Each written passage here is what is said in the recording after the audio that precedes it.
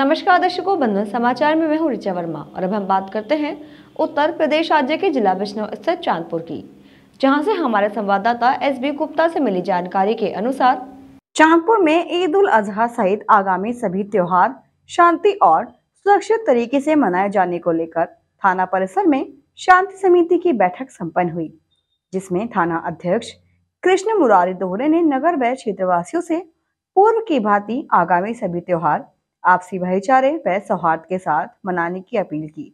थाने में आयोजित बैठक को संबोधित करते हुए थाना अध्यक्ष कृष्ण मुरारी दोहरे ने कहा कि सभी त्योहारों को आपसी सौहार्द के साथ मिलजुल कर मनाएँ। त्योहार मनाते वक्त दूसरे समुदाय की भावनाओं का ज़रूर ध्यान रखें।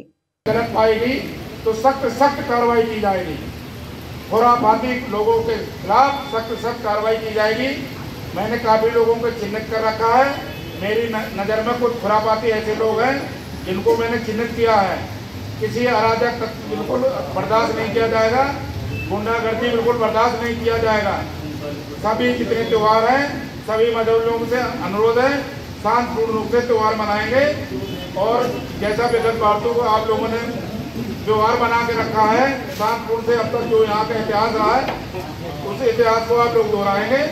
यही आप लोगों से हमारी प्रार्थना है। शांति समिति की बैठक में उपजिलाधिकारी मांगेराम चौहान, पुलिस क्षेत्राधिकारी सुनीता दहिया, क्राइम इंस्पेक्टर अताउल्ला खान, कस्बा इंचार्ज राजीव कुमार शर्मा सहित भारी संख्या में पुलिस स्टाफ व क्षेत्र के गणमान्य लोग मौजूद रहे।